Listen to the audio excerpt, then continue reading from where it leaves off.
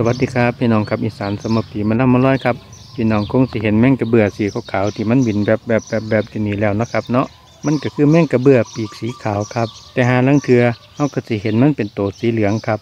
มันก็คือแมงกระเบือปีกสีเหลืองครับ ซึ่งก็คือสารตั้งต้นของเมนูความอร่อยนี่ครับ ผม ผมกินมาแต่น้อย ตั้งแต่จำความได้แล้วครับ มาเบิ่งกันครับ เมนูแสนอร่อย จากผีเสื้อสวยๆจังซีมีความเป็นมาจังใด นี่ก็คือต้นขี้เหล็กครับ แต่ว่าบ่มีใบครับพี่น้อง ก็เพราะว่าใบ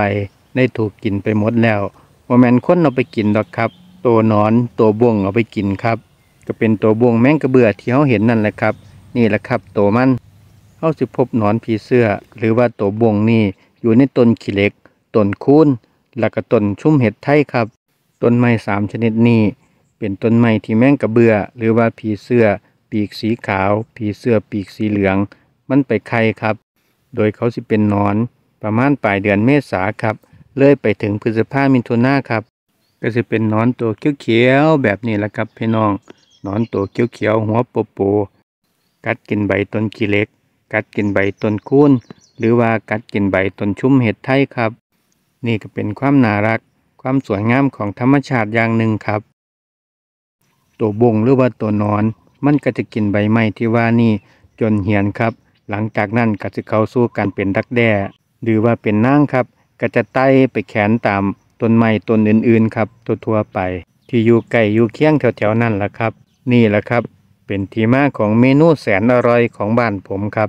กินกันมาตั้งแต่ปู่แต่ปู่ตั้งแต่พ่อแต่แม่ตั้งแต่ปู่ย่าตายายพุ่นล่ะครับเฮาก็ไปเก็บมากครับ แล้วก็มัดจุกร่วมกันโอ้ยบ่แมน อันนั้นมันเป็นของมันเองครับ ผมเฮาก็แค่ไปเก็บมาซื่อครับ อันนั้นมันติดกันของมันเองครับ ได้ข่าวว่ามีอยู่ไสนี่ โอ้ยบ่เหลือดอกพี่น้องเอ่ยของแซบครับ แม้ตั้งแต่เป็นบงก็เก็บใส่ปอกปุ๋ยมากครับ แล้วก็เอามาแบบนี้แหละครับล้างน้ำจักหน่อยครับก่อไฟตั้งกระทะขึ้นครับพี่น้อง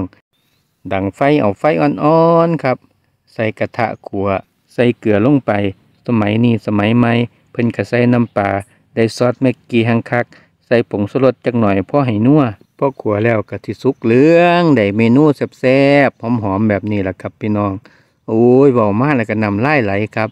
ตำเจ้าขึ้นได้ข้าวเหนียวห่อนๆกินกับขัวนั่งขี้เล็กนี่พี่น้องเอ้ยสวรรค์ร่ำไรร่ำไรหรอครับ